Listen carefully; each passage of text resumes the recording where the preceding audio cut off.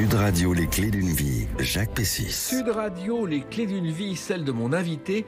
Après 40 ans de carrière, vous avez réuni les textes de vos chansons dans un recueil où vous vous présentez comme un naufragé. Il est vrai que vous avez connu quelques galères, mais elles ont été largement compensées par des vagues d'applaudissements. Bonjour Hubert Félix Thieffen. Bonjour. C'est vrai que ce recueil sort, c'est l'intégrale de vos chansons avec un entretien exclusif dans les collections Point, une collection prestigieuse. Et on va en parler bien sûr tout au long de l'émission puisque euh, c'est votre carrière, c'est 40 années de carrière, c'est important quand même 40 années. Vous pensez euh, pas je, crois que, je crois que c'est 50 en fait. 50 Parce qu'on a, on a fêté les 40 ans de, de scène. Oui. Il y a en, en 98, oui. en, en, 2000, en 2018. Oui. Et, et, et, on est. Mais moi, j'ai commencé à, à ne faire que de la chanson, c'est-à-dire à arrêter les petits boulots et tout ce qu'il y a à côté et à me consacrer uniquement à la chanson parce que je trouvais qu'il fallait bien 24 heures pour arriver à écrire euh, des chansons et se sentir bien avec. Et ça, je l'ai fait à l'automne 73. Ah oui, donc. Alors... Donc depuis, 1900, depuis novembre 1973, octobre-novembre 73, je ne vis que de mes chansons. Voilà, et vous en vivez bien. Alors, il y a eu des moments plus difficiles, et j'ai trouvé une date qui est le 8 janvier 1960. C'est la première d'une émission de télévision que vous avez fait dix ans plus tard, qui est le Club des Poètes. Et c'est vrai ah, que le Club oui. des Poètes, c'était une émission de, la télévision naissante de Jean-Pierre Ronet, ouais. qui démarrait par Amis de la poésie, bonsoir. Voilà, qui, est resté très longtemps comme un, un appel. J'ai connu Jean-Pierre Jean Renet, j'ai joué dans, au Club des Poètes dans, dans la rue de Bourgogne, la rue de Bourgogne. Il m'avait même hébergé pendant une période.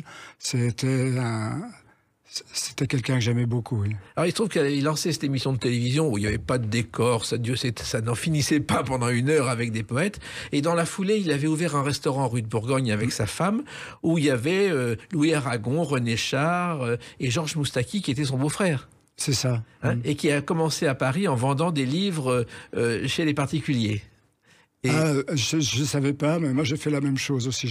Avant, avant l'automne 73, j'ai vendu des, des, des, encyclopédies pour les enfants. Comment vous êtes arrivé au Club des Poètes, euh, Hubert Félix Thieffen Par des amis qui, qui m'avaient entendu en cabaret, et qui, qui m'ont présenté, présenté à, à Jean-Pierre Renet. Voilà. Vous étiez dans un cabaret de la rue Mouffetard, il y avait le Pétrin, je crois. C'est ça, c'était un, comment on dit, on était une quarantaine d'artistes. Et on n'avait pas de, patron, on était libre. Euh, c'était une belle aventure aussi. Ça, a marché pendant une période. Puis la rue Mouffetard a un peu disparu euh, derrière les, machines. Ils ont chassé un peu les gens et c'est devenu un, c'est devenu un paysage touristique aujourd'hui. Oui, alors que moi, je me souviens à mes débuts dans le journalisme, on, on, on, allait le soir, il y avait des cafés où on entrait pour 5 francs voir un spectacle, et il y avait, euh, il y avait eu aussi la maison, la maison pour tous où vous êtes produit, qui, oui. est, qui est un, au départ qui était un, un, lieu créé après la guerre, euh, le, avec un spectacle Cirque aux illusions qui n'a pas marché, où débutait un jeune acteur que personne ne connaissait qui s'appelait Raymond DeVos. Ah ouais, qui, a, qui a démarré rue Mouffetard. Donc c'est vrai que c'était des cabarets où on gagnait pas sa vie. Ah non, on était payé ici, on nous payait des bières des fois. Oui. ça coûtait pas cher. Donc euh, non, on gagnait, on payait, je sais pas, l'équivalent de d'un ou deux euros aujourd'hui. Voilà. Et Mais puis, en même... et puis une bière voilà. en plus. Ouais. Mais en même temps, vous aviez envie de, de faire ce métier, même pour un ou deux euros par soir. Ah ben complètement, c'était ma référence. C'est-à-dire euh, pendant la journée, je travaillais certaines chansons. Et puis le soir, je les, je les, je les jouais et, et j'étudiais un petit peu le, le, le, ce qu'en ce qu faisait le public. Et il y a un jour quelqu'un qui vous a dit, euh, un garçon de 17 ans, je crois, t'es un Rimbaud. Et là, ça vous a marqué aussi. Ça, c'était plus tard. Un petit peu plus tard, pas tellement d'ailleurs, mais euh, c'était en, en, province. C'était plus de, sur, sur Paris. Oui, mais en même temps, c'était un compliment parce que euh, on dit que vous êtes poète, vous vous dites que vous êtes chanteur. C'est pas, pas exactement la même chose. Non, ça m'avait marqué parce que parce qu'après j'avais pas j'avais pas encore fini toutes euh, mes toutes mes mauvaises euh, histoires, toutes mes vaches enragées n'étaient pas encore toutes à, à l'étable. Et donc je sais que quand ça allait très mal, je, pensais à, ces réflexions de, jeunes, ados. Et, en même temps, je pensais à la fin de Knut Thompson. Donc euh, voilà, j'ai pu tenir le coup euh, grâce à ça, en fait. Alors, vous êtes né, vous avez grandi dans le Jura, au pied des montagnes, à Dole, euh, qui est pas loin de Besançon. C'est une ville tranquille. Pas trop à l'époque parce que c'était une ville industrielle à la base qui est devenue une ville touristique avec toutes les. C'était un, c'était une ville de, de, de fonderies. Oui. Il y avait 7-8 fonderies dans, dans, cette ville. Et puis les fonderies ont dû fermer une à une. Et, alors c'était une ville en crise avant, avant la crise générale. Et puis. Et, puis, donc, vous avez grandi dans cet univers. Et il y, a, les fonderies, mais il y a aussi le cinéma, parce que je crois qu'à Dole, on a tourné beaucoup de films. Il y a eu la ligne de démarcation de Chabrol en 66. vrai. La promesse de l'aube de Jules Dassin en 71 et La Veuve Coudert a été tournée en partie à Dole, euh, rue de la Sous-Préfecture et Place Nationale. C'est pourquoi on ne sait pas les cinéastes adorent Dole. Euh, je ne saurais pas expliquer pourquoi. Voilà. Je sais que mon, mon père, qui a, joué dans un de ces films que vous avez cité, oui. Euh, ah bon? comme comme figurant. Comme figurant, il faisait partie d'une troupe d'amateurs. Et, ils étaient réquisitionnés pour faire les, les les, les, les, figurants sur, sur oh, je sais plus. Je, je sais plus le. La, ça la, ligne de démarcation, peut-être, non, qui est le plus ancien. Non, je crois pas. Non, ça devait être plutôt. La promesse de l'aube? Non, la troisième alors. La veuve Coudert. La veuve Coudert, je me semble. Et vos parents, justement, Maurice, c'est votre père et Alice, vous les avez chantés.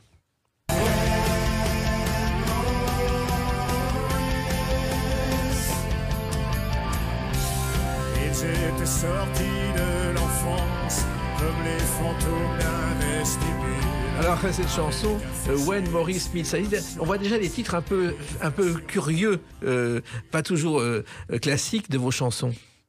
When Maurice Meets Alice, c'est pas un titre très courant. Non, c'est pas courant, mais c'est déjà, c'est déjà le, le 21e siècle. Oui, hein. oui. C'était en 2006, je crois. Oui, c'est ça. Mais, mais, cette chanson évoque euh, votre vie de famille, les, six enfants. C'était, ce sont des beaux souvenirs. Ah, mes souvenirs de, de famille quand j'étais quand j'étais môme, oui, c'était c'était c'était plein de tendresse et d'amour. Oui. Et au départ, vos études, bon, euh, des écoles privées, publiques et privées. Et puis à 10 ans, vous faites une crise mystique, je crois. Vous, vous, vous songez à devenir prêtre. Oui, j'ai surtout envie de me barrer. Parce que l'école, c'est pas terrible. Parce qu'à l'école, bah, je, crois que j'ai connu ce qu'on appelle aujourd'hui un peu le harcèlement scolaire. Mmh. Euh, et j'ai pas envie d'en parler. Parce que c'est une chose, euh, le harcèlement scolaire, je comprends qu'on puisse euh, on s'y met un peu tard, mais ça a toujours existé et, ça laisse des, morts derrière. Hein. on n'est pas, on c'est pas de l'amusement, quoi. Et donc vous vous retrouvez euh, dans une école, euh, un pensionnat jésuite Notre-Dame de Mont-Roland à Dole. Non, pas, pas tout de suite. Euh, je, quitte Dole et, je, vais dans un pas très loin de Dole d'ailleurs à, à, Vaux-sur-Poligny. Mmh où, il y a un, ancien monastère qui a été transformé en, petit séminaire. Et j'ai fait quatre ans là. Voilà. Et avec beaucoup de discipline, avec beaucoup de rigueur et beaucoup de révolte de ma part. Mais euh, au bout du compte, euh, je pense que ça m'a beaucoup aidé euh, dans ma vie future et même dans ma vie d'artiste de, de, fréquenter ce genre de milieu un peu disciplinaire. Quoi. Oui, et je crois que c'était deux heures de promenade par jour, pas une minute de plus. Ah ben, on se levait à 6 heures, on se couchait à 9 heures pour les petites classes et 10 heures pour les, les, plus grands. Et entre-temps, il y avait, il y avait euh, effectivement des petits bouts de récréation qui, qui duraient deux heures dans, si, on, si on les additionnait dans la journée. Quoi. Et puis à l'école, quand même, vous avez découvert les poètes. Je crois qu'en classe de quatrième, vous avez découvert François Villon. La balade des pendus. Oui, ça, ça m'a marqué. La, la balade des pendus, pour un, un tout jeune adolescent, c'est c'est c'est attirant quelque part. Je ne sais pas pourquoi, mais c'est j'ai adoré euh, d'emblée, j'ai adoré, ce euh, ce poème et, et, je m'en suis servi plus tard un peu parfois pour, pour, juste pour le plaisir du souvenir quoi. Oui, c'est peut-être aussi un déclic qui a fait que vous êtes devenu poète ou auteur de chansons. Oui, enfin là, en même temps, ça je, je, chantais à fond les yéyés. Hein. C'était, je chantais les débuts de Johnny, euh, les débuts de Claude François, tout ça. Euh, bon, avec Villon euh, dans le collimateur aussi. Quoi. Et puis ensuite, il y a eu les surréalistes que vous avez découverts en terminale. Je crois André Breton. Alors, on m'a parlé des surréalistes le dernier, au dernier cours de français avant de, passer le bac, donc avant la fin de l'année scolaire. Et, c'était vraiment pour nous faire rire que le, professeur nous citait euh, André Breton ou Benjamin Perret. Et, moi, j'ai carrément... Euh, j'ai adoré, j'ai adoré ça. Et, en sortant de, du cours, j'étais dans une... J'allais dire une pharmacie, mais, mais dans, dans, une librairie pour, euh, pour, pour prendre tout ce qu'ils avaient de, de breton. Quoi et ça vous a marqué. Et je crois que dans, dans vos condisciples d'école, il y avait euh, Dingler et Jean-Quentin Gérard, La Roche-Valmont. Alors j'ai croisé Cookie Dingler à Genève euh, dans, à l'occasion d'une télévision. Et puis j'ai entendu parler de, de, Valmont, mais je ne connaissais pas sous ce nom-là, donc euh, ça a pris plus de temps. il s'appelait Jean-Quentin oui, Jean Gérard. Jean-Quentin Gérard. Quentin Gérard, on l'appelait, oui. il s'appelait. Il avait créé des, des, des journaux, euh, notamment privés, qui étaient un magazine de, un magazine un peu leste. Il avait ensuite créé des magazines de jeunes, et puis finalement, il a fait fortune là-dedans, et aujourd'hui, il est chanteur avec tout le look Coco. Oui, c'est ça. C'est ça. Et vous les avez jamais revus euh, Quentin Gérard, non, jamais. Voilà. Non, j'ai pas eu l'occasion. Je sais qu'il a, il a dit des choses assez sympathiques euh, sur, moi dans, dans, certaines occasions, mais voilà. Et oui, il a continué et tout le loup Coco est aujourd'hui une chanson dans plusieurs pays, vous voyez. Alors, une autre date importante pour vous, c'est le 2 novembre 1981. On en parle dans quelques instants sur Sud Radio avec Hubert Félix Thieffen. Sud Radio, les clés d'une vie, Jacques Pessis. Sud Radio, les clés d'une vie, mon invité Hubert Félix Thieffen. Euh, l'actualité, c'est l'itinéraire naufragé, l'intégrale des chansons, avec un entretien exclusif chez Point, euh, une collection de livres où on a vraiment tous vos textes, et ça vaut le détour. Et le 2 novembre 1981 est une date importante, c'est votre première Olympia. Euh, vous affichez complet à l'heure où les ventes de votre quatrième album explosent, dernière balise avant mutation. Ce soir-là, c'est complet à l'Olympia. Oui, oui, d'accord. Alors, c'était donc 81, je me souviens, mais je me souvenais plus du le 2 novembre. Oui, 2 novembre. Ah, d'accord. Et, il se trouve que cet album, euh, Dernière balise avant, avant, mutation, a eu une belle vie, puisqu'il est devenu disque d'or en 83 et double disque d'or en 89. C'est assez rare, ce genre de choses. Ouais, il ben, y, a pas mal de disques qui sont, qui sont devenus disques d'or. Après, je pense à, Je t'en remets au vent, euh, le premier album a été double disque d'or, mais, mais 10-12 ans après. quoi. C'est rarissime. Je ne sais pas. en général, un disque sort et on passe à autre chose quelques mois plus tard.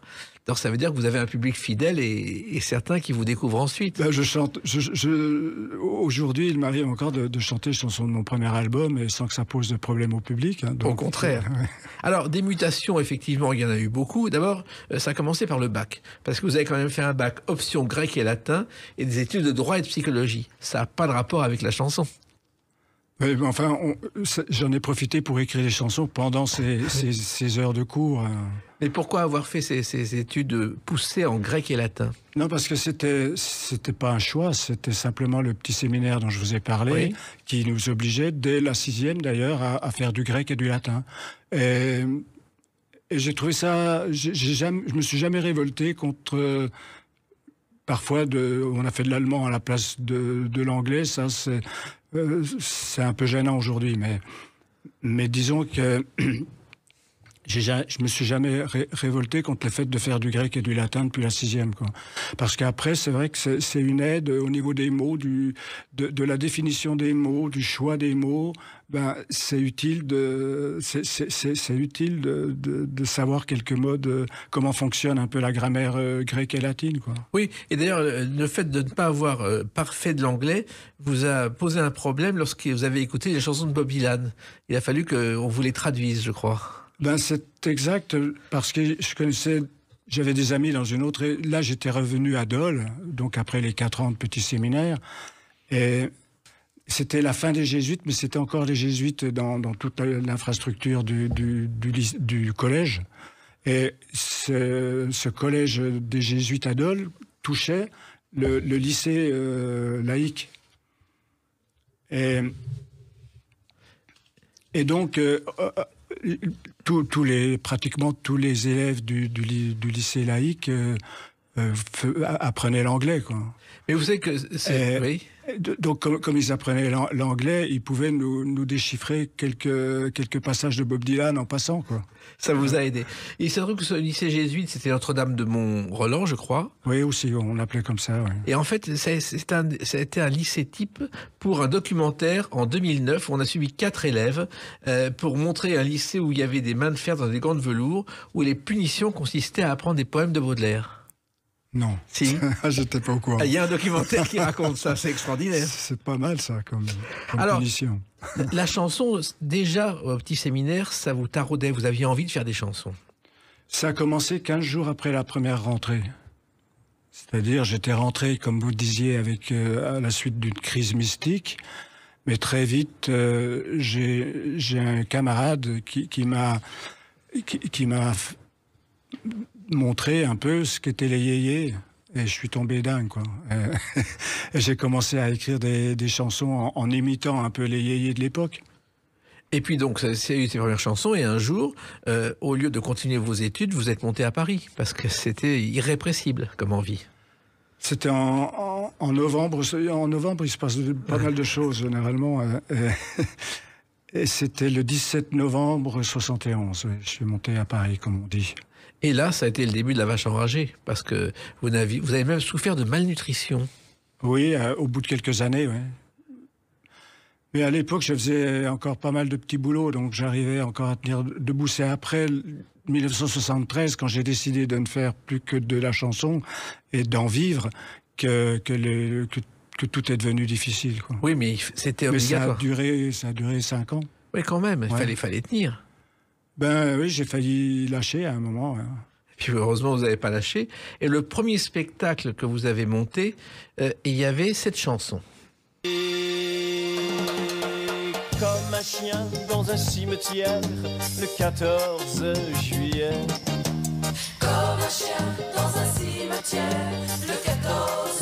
C'est vrai qu'alors il faut savoir que ces chants, dans, dans ce spectacle, il y avait Je t'en remets au vent, euh, il y avait le twist et le reste, le chant du fou. Ça n'a eu aucun succès et c'est venu plus tard le succès.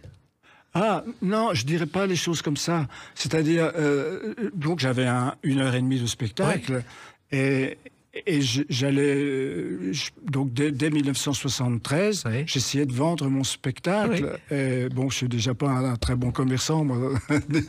Il a fallu que j'attende un peu pour pour être aidé. Mais euh, mais surtout, mais, mais voyez, euh, au départ, euh, oui, j'avais des fois trois personnes. Oui. Hein, il m'arrivait à la frontière, euh, justement, avec l'Allemagne, il y a deux, trois. J'ai fait deux, trois villes à un moment, là-bas, il y avait trois personnes au, spectacle. Mais l'année suivante, il y en avait 30. Et puis, et puis 100 et puis 200, et puis c'est monté période comme ça. et, et, voilà, on est arrivé en, en 1981 où euh, tout d'un coup, euh, il y, a, y, a, 2000 personnes. Euh, à l'Olympia Notamment, enfin, il y en a plus, il y en a 2000 dans la salle et on m'a dit 2000 dehors. Ça, je n'ai pas été vérifié, mais. enfin, donc, c'est monté progressivement. Le... C'est pour ça que l'album est sorti, qui, où on voit avec un nez de clown, un pistolet et des fleurs, le premier album, qui est sorti quelques années plus tard. Il a fallu du temps pour que cet album sorte. Non, parce que De l'amour de l'art ou du cochon, qui est le disque dont, vous parlez, il, est sorti en, en, 1981. Oui. Et en même temps, moi, j'écrivais l'album Dernière balise avant mutation, qui devait sortir à la fin de, euh, enfin, qui est sorti à, la fin de l'année 80. Donc, c'est-à-dire, il y a eu une année où, il y a eu deux, deux albums qui sont, qui se sont croisés pratiquement et, donc qui est sorti en 1981 et qui est d'un côté en début de l'année 80 il y, avait de l'amour de l'art du cochon. Et à la fin de l'année, de la même année, on sortait ou on s'apprêtait à sortir dernière balise avant mutation. troisième et quatrième album, et, surtout, euh, euh, il y a- c'est pourquoi, il poser la question Hubert Félix ou Tiphaine sur la pochette? Il y avait une sorte de, de jeu de mots, on ne savait pas très bien ce que c'était. Oui, parce que c'est de l'amour de l'art ou du cochon. Donc c'était Hubert, Félix, Stéphane. Et, et- et avec ces trois mots, je, je jouais souvent auteur, compositeur, interprète. Donc tout était euh, par, par, par trois. En même, Euh. temps, en même temps, l'expression du lard ou du cochon, elle est née, je ne sais pas si vous le savez, à la fin du XVIIIe siècle. Le lard étant aussi du cochon, on avait du mal à se faire une idée claire sur les tenants et les aboutissants de la situation. C'est comme ça que c'est né. Ah, d'accord. Le lard et le Ah, cochon. Alors, euh, vous avez, vous, il n'était pas question de- pour vous de faire des concessions lorsque vous avez commencé. Il y a une rencontre qui a été importante, c'est Tony Carbonare. Ça, ça a été déterminant parce que euh, je crois que vous l'aviez rencontré sur le campus de Besançon au départ. Oui. Et il est devenu un ami, et puis c'était, c'est grâce à lui que vous avez commencé à, à enregistrer des disques. Euh, oui. Enfin, ça a duré un peu plus. euh, on a travaillé déjà ensemble. Lui, il avait un groupe qui s'appelait Groupe Machin, Oui. et qui faisait du folk. Et puis nous, on- mais du folk électrique. Ce qui fait qu'on on avait adapté euh, les, mes- mes- les premières chansons euh, sur, sur du. On, avait pris, décidé de faire, de faire de- ce que je voulais faire moi, euh, de rock and roll, et- mais avec des, des- en profitant de l'électricité qu'il y- avait dans, dans ce groupe. Voilà. Et je crois que la première chanson qui n'est jamais sortie, ça s'appelait Balade pour Miss K.O. Il vous a apporté les musiques et vous avez écrit un texte dessus qui n'est jamais sorti. Non, parce que je ne me souviens pas. de- Ben voilà. Eh ben, je vais vous dire qu'il existe. Et d'ailleurs, il y a même sur Internet euh, la, la musique de cette chanson, avec Ah. du yaourt. Et pas vos paroles. Ah, c'est possible parce que j'ai aucun- j'ai pas de souvenir de, de cette chanson. quoi. Et, et- et puis, il y a eu des différents spectacles que vous avez montés. Et Tony Carbora, un jour, a dit à la maison de disques Je veux bien faire sortir un album, mais il faut que Hubert Félix Thieffen soit avec nous, parce que personne ne voulait de vous. Oui. Et, et, ben, le groupe Machin enregistrait, des, avait déjà fait plusieurs albums, ou au moins un, Oui. déjà à cette époque.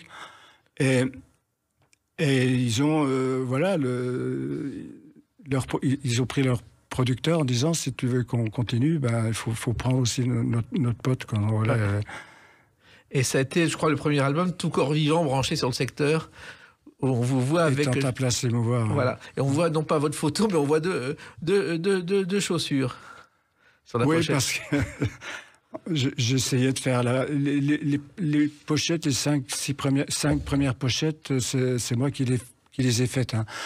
Et, et j'avais euh, con- convié un ami photographe euh, pour, euh, pour faire la pochette. Et puis, au bout du compte, les photos, elles n'étaient pas terribles. Enfin, ça ne fonctionnait pas. Mais il y avait cette photo où moi, je, pour, pour me relaxer en- entre deux prises, euh, je fais le, comment on appelle ça quand, quand on se retourne Enfin, c'est un truc de gymnastique. Oui, c'est ça. Vous faites le poirier. le poirier, voilà. Et, et donc, euh, je fais le poirier. euh, on me prend en photo à ce moment-là. donc, j'ai trouvé ça très bien. Voilà. Eh ben, vous avez laissé votre empreinte, mais un peu plus tard, avec une autre date, le 3 mars 2012. À tout de suite sur Sud Radio avec Hubert Félix Thieffen. Sud Radio, les clés d'une vie. Jacques Pessis. Sud Radio, les clés d'une vie, mon invité Hubert Félix Thieffen. Nous évoquons euh, tout au long de cette émission vos chansons et puis c'est à l'occasion de la sortie de Itinéraire naufragé et les fans se réjouiront parce que l'intégrale de vos chansons est dans ce coffre, dans ce livre euh, paru chez Point, on va en parler tout à l'heure, mais je reviens à une date importante que vous n'avez pas oubliée, le 3 mars 2012. Une double victoire de la musique au Palais des Congrès. Vous avez trois nominations et vous allez repartir avec deux trophées, artiste masculin de l'année et album de chanson de l'année. Vous vous souvenez de ce soir-là? Oui, quand même. Et ça a été un moment émouvant, je pense, non? Une surprise? Ça a d'abord été une surprise parce que à l'époque, je rentrais pas trop dans les catalogues, mais euh, disons que je sortais d'un burn-out aussi. Oui. Et, et que voilà, j'avais fait, j'avais pris des grandes décisions, no- notamment d'arrêter mon alcoolisme. Oui. Et je pense que jusqu'à jusqu'à aujourd'hui, ça fonctionne. Ah, vous buvez de l'eau, donc, tout va bien. C'était déjà, c'était déjà une récompense en, en- en- en soi de, de, de me récompenser d'avoir arrêté de, de, picoler et de, en, m'offrant des, en, m'offrant des, voilà, des, des récompenses. Oui, en même temps, quand on se trouve victoire de la musique et qu'on entend son nom une fois puis deux fois, qu'est-ce qu'on ressent? Ah, ça, non, c'était, c'était, c'était miraculeux ce soir-là, quoi. J'avais une auréole qui me tombait sur la tête. non, je, je pas. Je... On sait plus quoi dire dans ces moments-là.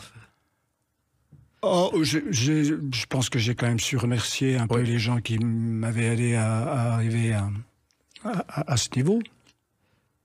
Mais surtout que six ans plus tôt, vous aviez été nommé au Victoire de la musique et à votre grand bonheur, vous n'aviez pas eu de Victoire de la ah, musique. Ah, je j'aurais, pas voulu, j'aurais été ridicule. Ah, pourquoi? Parce que je, je, sentais pas, je, j'ai dit pourvu que ce soit pas moi, quoi. Et, mais je sentais pas, je, j'avais pas, et j'étais vraiment heureux de, de, je me souviens après, on était faire la fête avec Kali et Benabar. Euh, J'ai vraiment fait la fête ce soir-là, oui. Pour, euh, Heureux de ne pas l'avoir. en 2006, oui. Alors en 2012, c'est quand même votre 16e album. Euh, et la, la pochette est étonnante parce que là, c'est plus les chaussures, c'est torse nu carrément la, pochette de l'album. Oui, je crois que le, photographe euh, rêvait de ça depuis longtemps, donc ah euh, voilà, je lui ai offert. Alors, euh, le titre principal, c'était La ruelle des morts, qui était lié à un souvenir d'enfance, mais il y a aussi une autre chanson qui est importante pour l'amoureux de la littérature que vous êtes, c'est Les ombres du soir.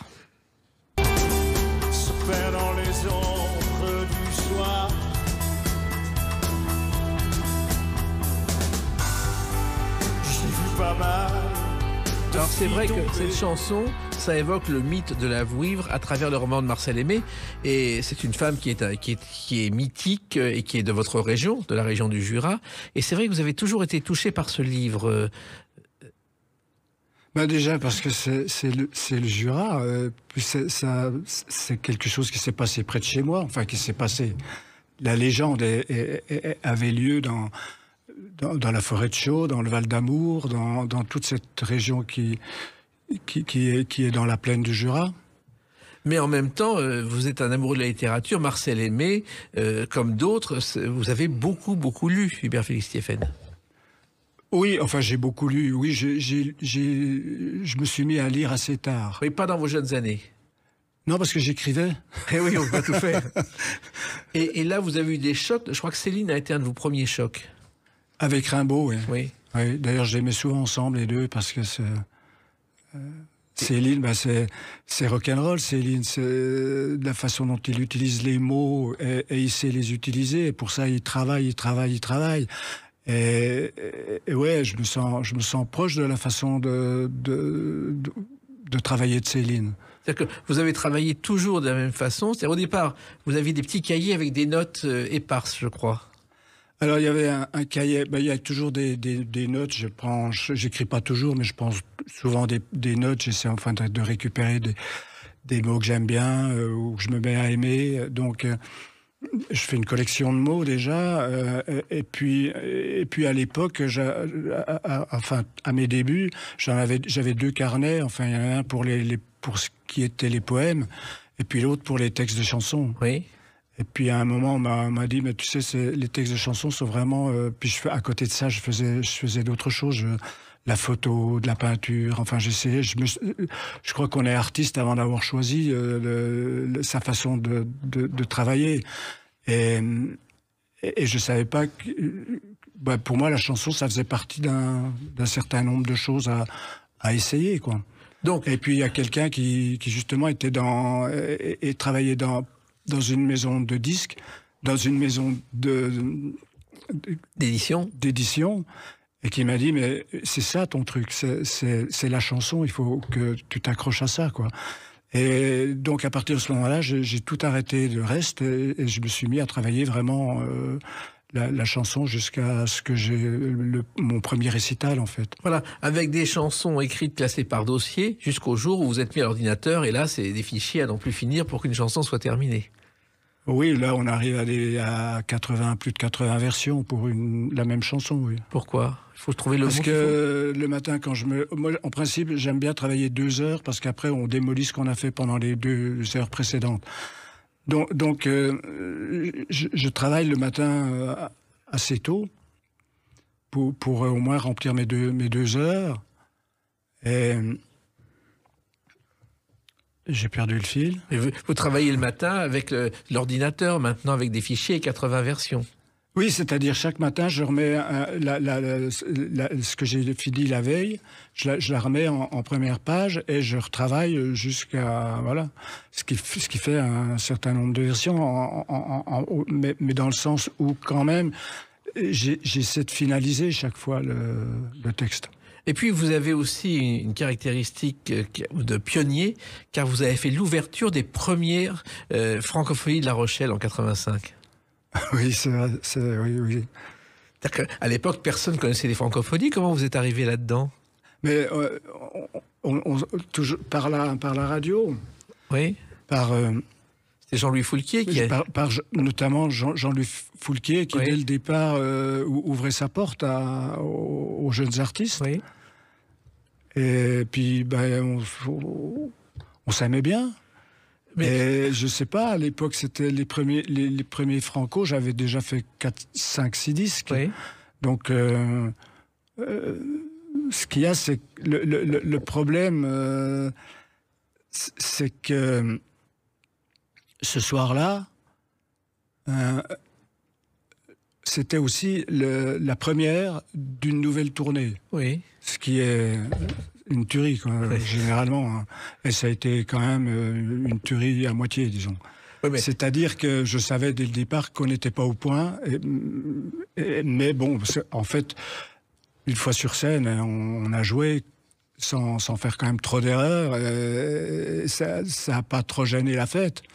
Mais ça explique un peu le, le trac que j'avais. euh, que, que j'avais avant de monter sur scène, et, parce que ça a été un peu filmé et tout ça. Donc, euh, Oui, mais enfin, c'était les premières francophonies. Il n'y avait pas autant de monde qu'aujourd'hui.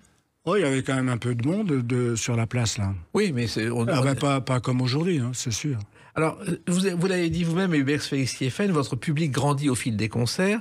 Euh, vous allez faire trois zéniths en un an à une époque, c'est un record, des tournées de 18 mois. Et il y a un album qui est particulier, c'est un diptyque, qui est le, La tentation du bonheur et Bonheur et tentation. C'est rare de faire un diptyque de ce genre. J'avais fait Météo Furnada et Reçu Berales Oui. déjà dans, un autre, dans une autre forme. Et ben, c'est bien que. C'est- Je trouve que c'est- c'est pas mal de, de pouvoir rallonger un album parce qu'on trouve qu'il n'est pas, il est pas fini. Voilà. Et dans cet album, dans ces albums, il y a une chanson aussi euh, qui est liée à quelque chose de très important dans votre vie. Les photos se dispersent au rythme des marées. Et sous les feux la C'est pitié. Dong qui est dédié à votre fils Lucas, votre second fils. Je crois qu'il avait trois ans quand la chanson a été enregistrée et il travaille aujourd'hui dans la musique. Oui, et, et avant, j'avais fait un, un autre, un- un- une autre chanson qui s'appelait. Qui, qui, qui s'appelait. euh, euh, Septembre Rose, Oui. à l'occasion d'Hugo, qui, qui Oui. est là d'ailleurs dans. Votre fils, oui, qui est là aussi. Et c'est vrai que euh, parler de ses enfants, c'est aussi un grand moment d'émotion parce que, naturellement, euh, Lucas est devenu musicien. Il a fait, je crois, Nuit Blanche. Oui, il a fait plusieurs chansons sur Oui. le dernier album, hein, notamment Nuit Blanche. Ouais, ouais. donc, ça, ça- donc euh, vos, euh, il, il suit vos traces. Oh, je pense qu'il est, il est plus doué que moi sur certaines choses. Cet album, il était enregistré pas n'importe où, mais à Abbey Road. Vous avez quand même eu le studio mythique des Beatles. Oui, on, on a enregistré les, tout, tout ce qui était l'orchestre des- des- des cordes. Oui. J'ai dû faire quelques voix, Oui. quand même, pour Oui. marquer le coup. Et puis. Enfin, on n'a pas fait tout l'album à Abbey Road non plus, quoi. Non, mais quand, quand on pense qu'Abbey Road est célèbre grâce à cette pochette de disque, on oublie qu'au départ, les Beatles voulaient enregistrer ce disque Everest et faire la pochette au pied de l'Himalaya. Ça a coûté trop cher, donc ils ont fait Abbey Road. Alors, il y a aussi des choses très particulières, car vos concerts ne se ressemblent pas. Vous avez aussi fait des concerts en solitaire au Palais Royal, au Bouffe du Nord, et ça aussi, c'est des choses qui ont été très importantes pour vous, Hubert Félix Stephen. Oui, bah, j'ai essayé tout, ce qu'on peut. je, me suis amusé à, à essayer beaucoup de choses euh, et, à créer toujours des- de, de nouvelles surprises, Donc après avoir eu, notamment, on sortait de Bercy, et on était jusqu'à, je ne sais pas combien de personnes sur scène. Donc j'ai eu. je crois qu'il y a un orchestre de 28 musiciens à un moment. Ah, c'est possible. Et, et, j'ai eu envie aussi de, voilà, d'un peu d'intimité. Oui, mais quand même. Mais en plus, le Stade du Palais Royal, c'est un théâtre prestigieux. Euh, il n'y a pas beaucoup de chanteurs qui sont produits au Palais Royal. Ce sont des pièces de théâtre. C'est une, salle qui est, belle, pleine, pleine de nostalgie aussi. Et puis, euh, quelquefois, vous vous plantez dans les, dans les chansons, mais le public vous reprend, parce que je crois que le public connaît vos chansons par cœur. Oui, c'est l'avantage qu'ils ont sur moi, que le public a sur moi. C'est vrai, mais c'est fou. Et vous avez trouvé un public fidèle qui vous suit depuis vos débuts. Mais ça, je ne sais pas l'expliquer, mais je pense que je, suis déjà fidèle à moi-même et que le public, il, doit le ressentir quelque part. D'ailleurs, vous êtes reparti en tournée euh, et vous serez en tournée en 2024. Il paraît, oui. Oui. vous êtes heureux sur scène? Sur scène, après, après les difficultés de, l'avant-scène où on a le trac, c'est vrai que euh, sur scène, c'est un petit peu de la revanche. Exactement, et ça ne vous empêche pas d'écrire, et on va l'évoquer à travers une autre date, le 13 octobre 2023. A tout de suite sur Sud Radio avec Hubert Félix Thieffen. Sud Radio, les clés d'une vie, Jacques Pessis. Sud Radio, les clés d'une vie, mon invité Hubert Félix Thieffen. Alors, on a parlé de votre carrière de chanteur et d'auteur, et effectivement, et je l'ai dit, le 13 octobre 2023 est sorti Itinéraire d'un naufragé, l'intégrale de vos chansons dans une collection prestigieuse, généralement réservée aux poètes, point. Et c'est vrai que c'est quelque chose qui vous fait très plaisir parce que c'est quand même, euh, il, y y, a plusieurs centaines de pages, il y a tous vos albums, il y a plus de 400 pages, et c'est un travail d'une précision extrême. Quand on lit les textes, on voit que chaque mot compte. C'est vrai que c'est quelque chose qui vous touche. Disons que j'essaie que j'essaie aussi de faire de la musique avec les mots. Oui. Donc ça, à la fin, ça, on s'en aperçoit un peu. Donc ça a été un gros travail de remettre, de, de retrouver tous ces textes, de les classer. Et vous avez veillé à ce que chaque mot soit vérifié?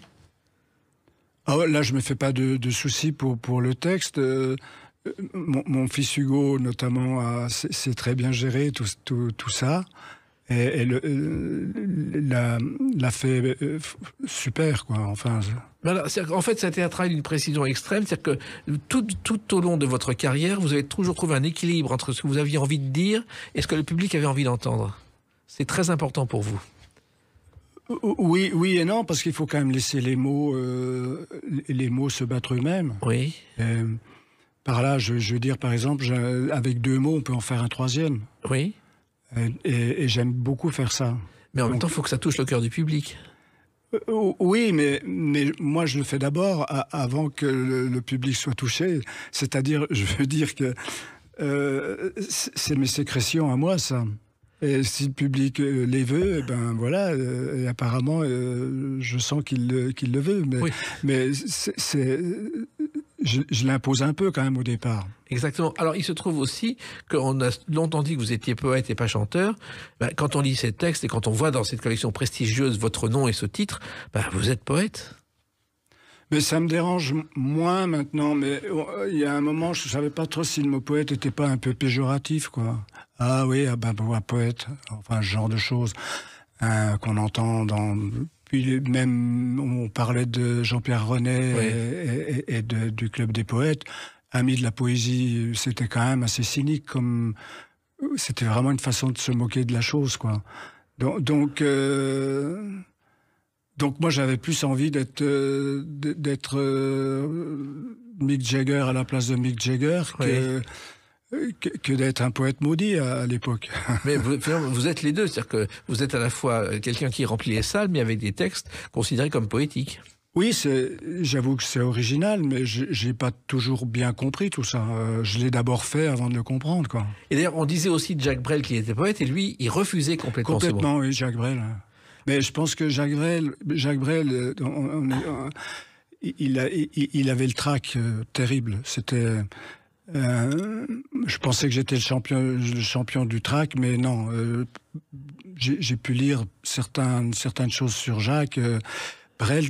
Et, oui, je pense qu'il a arrêté tôt aussi parce que il en avait marre d'avoir le trac, quoi. Bah, il vomissait avant chaque spectacle en. Déjà, oui. euh, Moi, j'ai connu ça aussi, aussi mais, mais, mais c'est passé assez vite quand même. Tandis que lui, c'était, il faisait, notamment le dimanche, il y avait, il y avait deux spectacles euh, à, à faire, et donc il, vo- il vomissait euh, les deux fois. hein. Et, et, et- et il se donnait tellement qu'il fallait qu'il change de chemise au bout de 30 minutes. Il y avait deux chemises par spectacle en 45 minutes. Ah oui, ouais, transpirait. ça, ça se voit sur, euh, on le voit, il, il, bouge pas beaucoup, mais le peu qui, c'est tellement intense ce qu'il ce qu'il met dans ses bras, dans ses, dans ses mains quand il chante, que eff- effectivement, euh, ça doit, oui, la machine doit transpirer. hein. J'en reviens à vos poèmes, Hubert Félix Thieffen, c'est-à-dire que vous avez, dans votre jeunesse, commencé à écrire quelques poèmes. Dès vos jeunes années. Oui, j'ai dû commencer, en, je sais pas, euh, en quand on commençait à apprendre des Oui. poèmes à, à- à l'école, il y avait des poèmes que, que j'aimais plus que d'autres. Oui. Et puis vous aimiez Boris Vian, de toute façon. C'était Ah, votre- on pouvait pas passer le- le- les, les années 60 sans, sans faire une rencontre avec Boris Vian. Quoi. Et, et on avait tous envie d'être Boris Vian, de d'écrire des romans, de chanter, de, de faire de, de, de la, de la trompette, euh, enfin bref. Voilà. Et en même temps, vous avez commencé la guitare, je crois, à 15 ans dans votre chambre euh, par les arpèges. Oui, euh, euh, oui, c'est comme ça que j'ai- écrit. euh, j'ai écrit Je t'en remets au vent. Ben voilà qu'on va écouter. Mon pauvre amour, sois plus heureuse maintenant, mon pauvre amour. Je t'en remets au vent. Chanson qui figure sur votre premier album, alors qu'elle a été écrite euh, à vos tout débuts. Euh, Je te Elle, elle est sur le premier album euh, que vous avez enregistré. oui, c'est ça, oui. Oui. Ouais. Et, mais votre écriture a évolué au fil des, des- des années et des décennies. Ben, oui, parce que j'ai vécu d'autres choses et, et que ça m'a inspiré souvent. J'ai découvert après la- les, les poètes de la Beat Generation, euh, des, et, et ça m'a embarqué aussi. Et puis la, et puis les- la poésie des, des poètes russes, des poètes, euh, des poètes américains, donc la Beat Generation. Oui. Euh, oui, ça m'a remué tout ça. Et puis il y a quelqu'un qui vous a marqué aussi, que vous avez rencontré et vous étiez tétanisé, c'est Léo Ferré. Alors ça, c'est encore un petit peu plus tard. Oui. Et il a fallu que, que, que je me batte pour, que je me batte pour arriver à, à trouver mon style parce que j'étais envahi par Léo Ferré. Quoi. Ça a été un choc quand vous avez entendu, je crois, la mémoire de la mer, mémoire, euh, je crois que c'est La crois- mémoire et la mer. la mémoire et la mer, ça vous a marqué? Oui, et, et exceptionnellement, cette chanson, euh, tout le monde peine à l'apprendre. Et moi qui ai du mal euh, avec mes les problèmes, de- avec des problèmes de mémoire et tout, euh, je, je l'ai apprise d'un coup, quoi. hein. Donc euh, il y avait, voilà, jusqu'où il avait cherché Léo Ferré. Donc il fallait, donc tous tous les mes débuts en cabaret, c'était trouver mon style pour sortir de, de la mélancolie, notamment de, de, de Léo Ferré. Léo Ferré, que vous avez rencontré plus tard, je crois, en Toscane. Oui, parce qu'on avait le même manager en, en Suisse. Oui. Et donc, on est, mon, mon manager suisse m'a m'a emmené en Toscane pour, euh, pour passer quelques jours avec Léo. Et alors? Ben, j'étais j'étais vraiment très, très, très timide. Euh, Je vois parfois des, des spectateurs qui viennent me voir et qui sont dans... dans- on voit que ils osent pas parce que euh, sont envahis par la timidité à ce moment-là, que ça les gêne. Et je sais comment les rassurer en leur disant il faut pas s'inquiéter, la timidité c'est pas un- ça peut être une qualité aussi. C'est-à-dire que vous étiez pratiquement tétanisé devant Léo Ferré, mais vous avez quand même échangé un petit peu. Vous avez quand même. Oui, on a il, on- il me parlait pas mal. Oui. quand même. Et puis euh, et puis il savait quand même euh, on- il savait d'où je venais, ce que je faisais. Et oui, on a eu quand même des, des- des discussions. euh, C'était amusant d'ailleurs parce que parce qu'il me parlait de. et- et- co- comme il voyait que je parlais pas beaucoup, il, il essayait de me rassurer en me, di- en me disant euh, Marie, elle, elle- elle est comme toi, elle parle pas beaucoup. Sa femme, oui. Et, intérieurement, je me disais, mais Léo, ça, euh, c'est pas une confidence. Il y a au moins 400 000 personnes qui le savent. Il avait écrit cette chanson. Tu ne dis jamais rien, tu ne dis jamais rien. Et, voilà, c'était, c'était un, grand moment. Et parmi les, choses les plus étonnantes que vous avez fait, vous avez commencé à écrire un jour un roman de 80 pages qui est devenu une chanson en deux pages. Yes, Oles Sparadra Joey.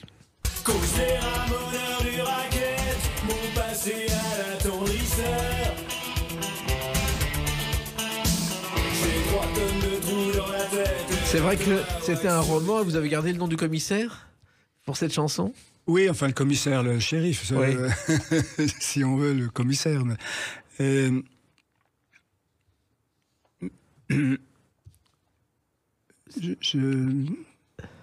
j'ai enlevé tout. J'avais 80 pages, j'ai enlevé tout ce qui n'était pas nécessaire. Oui. Donc il me restait deux pages à la fin, donc c'était bien pour faire une chanson.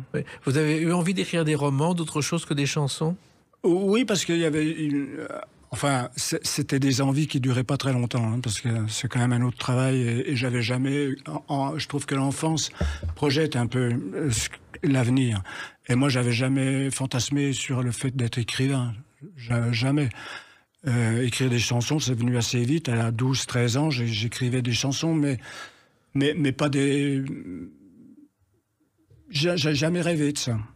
Donc j'y suis arrivé par, euh, par détour. Je pense que euh, en lisant tel bouquin, j'ai eu envie de tout d'un coup de me mettre à écrire notamment un polar, et puis que j'ai arrêté assez vite parce que parce que je le sentais pas en moi quand. Et puis une autre chanson aussi qui est assez particulière parce qu'elle parle d'un personnage totalement inattendu, c'est Also Scratch Winnie l'ourson. Pas la peine de revoir le mépris de Godard, ni la honte Bergman, ni gangbang à Cuba, pour finir empaumé à la sortie des gares entre une vieille hétéro, de diesel et trois bras. Winnie l'ourson dans une chanson, il faut que Winnie l'ourson est un personnage qui a été créé en 1926 par un auteur anglais pour faire plaisir à ses enfants. C'est pas votre univers au départ, il est Mais elle est devenue par un détail, euh, c'est que sur le même album, il y a, euh, ça commence, ça commence par euh, un hommage à, Brian Jones. Oui. Et que cette fameuse maison de, je, je connais plus le nom de l'auteur de de, de, de, de Winnie l'ourson. Alan Alexander Milne. Voilà. Il avait Brian Jones avait racheté la maison de, de, l'auteur de Dès le début, premier, la première chanson de l'album, c'est un hommage à, à, Brian Jones.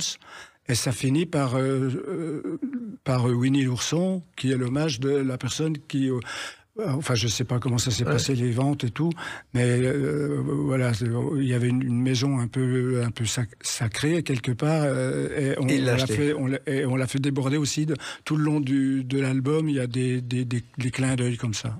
Et puis dans, ce recueil de textes, il y a d'autres chansons dont le dont le l'écriture a demandé beaucoup de temps. Je crois que le record, c'est Les Dingues et les Paumés. Je crois que vous avez commencé à New York et vous avez fait tous les continents avant qu'elle soit terminée. Oui, j'ai pas mal. elle, a, pas mal roulé, mais il y avait à l'époque il y avait des, des charters et les charters c'était pas c'était à deux jours près. Hein, les, Et donc, euh, je me suis retrouvé à, à New York avec euh, avec un charter qui allait pas repartir avant avant une vingtaine d'heures. Donc, je me suis installé, puis j'ai commencé à, à, écrire tout ce qui m'était venu. Euh, je revenais du Mexique. Et, et, et je, je m'étais par écrit un petit peu mes les souvenirs du Mexique. Et puis, puis chaque fois, après, à chaque voyage que je faisais, je repensais à cette chanson. Et puis, je sais qu'en finale, on a failli pas la mettre dans le disque parce qu'il manquait Les Dingues et les Paumés, qui était quand même capital dans, dans, dans la chanson. Et, puis, heureusement, j'ai trouvé, le, j'ai trouvé ça en, alors qu'on était on n'était pas en mixage, mais presque, on avait déjà beaucoup commencé de. Bah, souvent, c'est un déclic qui produit une chanson. C'est le cas de la Maison Borgnole. Les temps sont durs, c'est pas mariole. Vivement cœur vienne, le choléra. Alors cette chanson, elle est née à la suite d'un déménagement. Euh, c'est assez étonnant aussi, c'est le déclic qui s'est produit, Hubert Félix Stéphane. Euh, oui, on déménageait un, un, ami. J'étais encore en fac à l'époque, donc euh, ça remonte. Euh. Et à quelques années, je me suis retrouvé avec un, une espèce de grand coffre sur l'épaule, à descendre les, les escaliers d'une de, de, de, maison de Besançon. Et, et je sais pas, c'est parti comme ça. Quoi. Je suis parti maison Borgnole parce que j'avais simplement l'impression de, traîner un cercueil sur, sur mon épaule. Et puis, une fois qu'on avait fini le déménagement euh, le soir euh, chez moi, j'ai repris ce thème parce que ça, m'amusait, quoi, ça m'intéressait. Euh, et on a fait le soir, je terminais Maison Borgnole après avoir transporté une caisse assez longue euh, dans un déménagement. C'est ce qu'on appelle un chanteur qui déménage, comme on dit sur scène. Alors, il y a une tournée donc euh, qui commence en 2024. Pour votre information, il y aura Paris le 17 mai, l'Olympia, Nîmes le 23 mai, 24 mai, 24 mai Lyon et beaucoup d'autres dates qui sont sur Internet. Et puis il y a ce recueil pour celles et ceux qui vous aiment et qui connaissent vos chansons. C'est absolument indispensable. Et pour les autres, ils vont vous découvrir. Itinéraire d'un naufragé, précédé d'un entretien exclusif où vous vous racontez, comme aujourd'hui. Et c'est dans la collection prestigieuse euh, Point. Voilà, et je pense que ce, ce sera un merveilleux cadeau de Noël pour celles et ceux qui aiment la poésie, et ils sont nombreux. Merci Hubert Félix Tréfel. Merci beaucoup. Et bonne tournée. Merci. Les clés d'une vie, c'est terminé pour aujourd'hui. On se retrouve bientôt. Restez fidèles à l'écoute de Sud Radio.